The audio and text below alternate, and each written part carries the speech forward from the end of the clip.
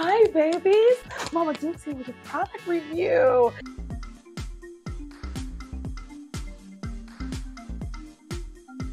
Today's product review is going to be on a Gildan G185 hoodie. The Gildan G185 is 50% US cotton and 50% polyester. However, Heather sports colors are 60% polyester and 40% US cotton. Worried about lint balls?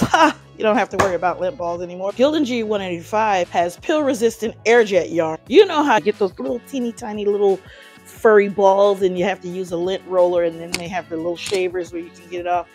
You don't have to worry about that with the G185. It also has double needle stitching throughout.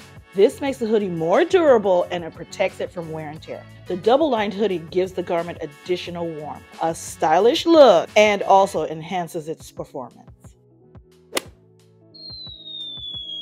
Rib cuffs, along with waistband, are made with spandex, which makes it stretchy.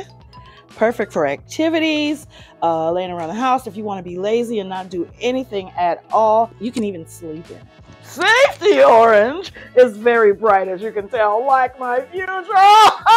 the neon in the color is very bright, which makes it compliant with the American National Standard for High Visibility Safety Apparel. And what does that mean, you ask? You know how you're driving down the street and you see construction workers out there working, but they have on bright colors? That's so they are kept safe. And you know, when it gets cold, you're to need to bundle up. You're want to stay warm. So why not be safe at the same time? Now let's talk about all the things that I can do to it. You can tie dye, you can bleach dye, you can heat press using HTV, you can embroider. The options are endless.